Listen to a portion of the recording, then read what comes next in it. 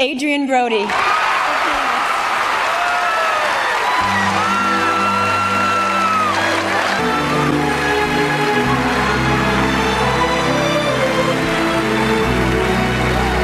Oscar ödül törenleri 27 Mart'ta 94. kez gerçekleştirilecek.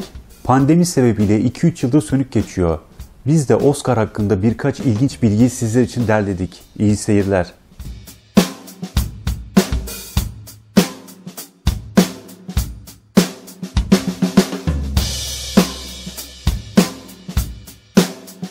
Popüler efsaneye göre Oscar adı ödül heykelcinin Oscar amcasına çarpıcı bir benzerlik taşıdığını iddia eden Ampas kütüphanecisi Margaret Herrick'ten geliyor. 1939'da akademi birkaç yıldır gayri resmi olarak kullandığı bu ismi resmi olarak benimsemeye karar verdi. MGM Stüdyoları Başkanı Louis Mayer tarafından 1927'de kurulan akademi, Sinema Sanatları ve Bilim Adamları Akademisi, film endüstrisini ilerletme amacıyla kar amacı gütmeden bir organizasyon olarak tasarlandı. İlk akademi ödül töreni 2 yıl sonra 16 Mayıs 1929'da The Hollywood Roosevelt Otel'de gerçekleşti. Biletleri 5 dolara satılan ve Douglas Fairbanks'in sunduğu tören sadece 15 dakika sürdü. 1934 yılına geldiğimizde hem Frank Lloyd hem de Frank Capra'nın en iyi yönetmen kategorisine aday gösterildiği törenin heyecana kapılan Frank Capra, ödülü takdim eden Will Rogers'ın hadi gel de al Frank diye bağırdığını duyup ödülünü almak için sahneye çıktı. Ancak kazanan kişinin aslında Frank Lloyd olduğu gerçeği ortaya çıkması uzun sürmedi. 1938'in en iyi yardımcı kadın oyuncu ödülü In Old Chicago filmindeki rolüyle Alice Brady'ye gitti. Ancak törene katılmayacak kadar hastaydı. Ödül açıklandığında sahneye ödülü teslim almak için bilinmeyen bir kişi çıktı ve ödülü aldıktan sonra ortadan kayboldu. Ödülü alanın kim olduğu ve ödülün nerede olduğunu gizemi hala çözülemedi. 1939 yılında George Bernard Shaw, Oscar ve Nobel ödülünü kazanan tek kişi oldu. 1929'daki ilk akademi ödüllerinde kazananlar 3 ay önce kamuoyuna duyurulmuştu. Ancak ertesi yıl akademi heyecan yaratmaya karar verdi ve kazananların bir listesini gazetelere gönderdi ve tören gecesi saat 23'e kadar yayımlamama şartı koştu. Bu sistem 10 yıl boyunca sorunsuz uygulandı. Ancak 1940'ta La Times ambargoyu deldi ve kazananları akşam baskısında duyurdu. Bu fiyasko sonucunda 1941'de bugün halen kullanılan kapalı zarf sistemine geçildi. 1940 yılına geldiğimizde ise ırkçılık Oscar'a damga vurmuştu. Hattie McDaniel 1939 İç Savaş Destanı Rüzgar gibi geçtiği Mami rolüyle en iyi yardımcı kadın oyuncu dalında akademi ödülünü kazanarak 1940'ta tarih yazmıştı. Ancak McDaniel'ın kazandığı yıl Oscar töreni katı bir ırk ayrımcılığı politikası uygulayan bir otelde yapılacaktı. Yapımcı David Shelton'ın sadece McDaniel'ın binaya girmesine izin vermesi için iyilik yapmak zorunda kaldığı bildirildi. McDaniel ödülün sahibi olmasına rağmen auditoriumun arkasında rol arkadaşlarının kalanının uzakta ayrı bir masada oturmak zorunda kaldı. İlk törenlerde altın kaplama masif bronzdan yapılan heykelcikler 2. Dünya Savaşı şiddetlendikçe ortaya çıkan metal kıtlığı nedeniyle 1943 ve 1945 yılları arasında boyalı alçıdan yapıldı. Savaş sona erdiğinde alçıdan yapılan ödüllerin metal ödüllerle değiştirilmesine karar verildi. 8 Nisan 1968'de yapılması planlanan tören Martin Luther King'in 9 Nisan 1968'deki cenazesi nedeniyle 10 Nisan ertelendi. 1972 yılına geldiğimizde Marlon Brando The Godfather'daki performansıyla kazandığı en iyi erkek oyuncu ödülünü reddetti. Törene katılmayan Brando, kendisi yerine yerli Amerikalı aktivist, aktris Sasha Little Fater'ın konuşma yapmasını sağladı.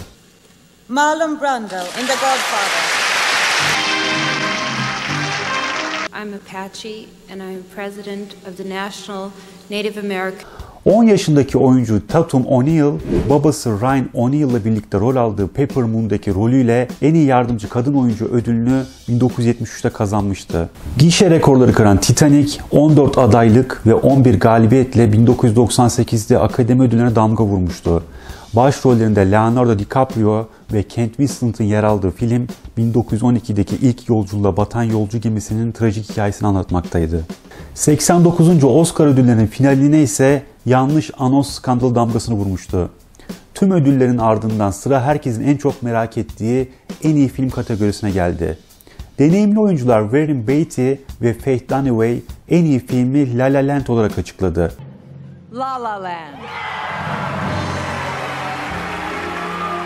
Ardından film ekibi alkışlarla sahneye çıktı. Tarihe geçecek yanlışlık da burada fark edildi. En iyi film La La Land değil, Moonlight'tı. This, there's a mistake. Moonlight, you guys won Best Picture.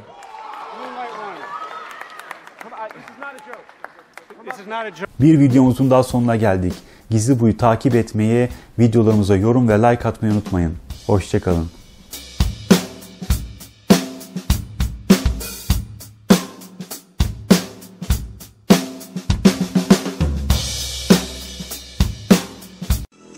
Ödülü bana layık gören akademiye, hayranlarıma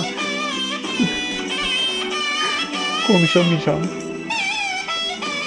Geçen gün Antalya Altın Portakal film ödüllerinde ödül alan Nihal Yalçın ile Tamer Karadağlı arasında yaşanan olay törene damgasını vurdu. Kimine göre ödül konuşmasını uzatan Nihal Yalçın haksızdı.